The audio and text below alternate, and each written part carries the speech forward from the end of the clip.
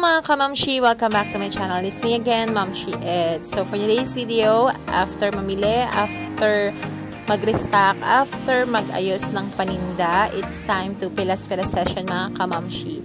But before that, I would like to take this opportunity para mag-thank you sa mga bagong subscriber ko from Davao at kahit saan man sulok ng Pilipinas at ng mundo. Super thank you po sa lahat ng nanonood sa akin.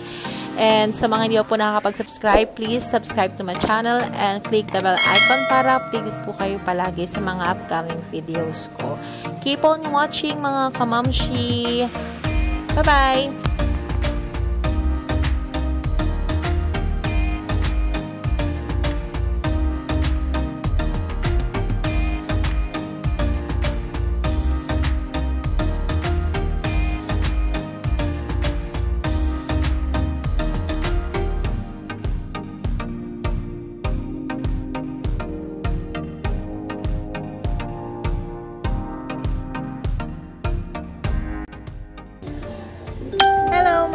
Kamamshi!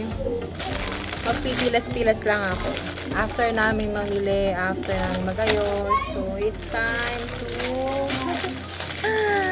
pilas-pilas session. Pakita ko sa inyo. O sige, wait lang. Kipilas muna ako. Kain na daw muna kami.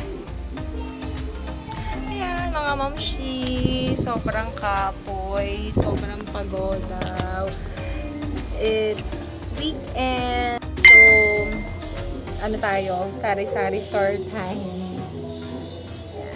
So, ang gulo ng camera ko. Wait.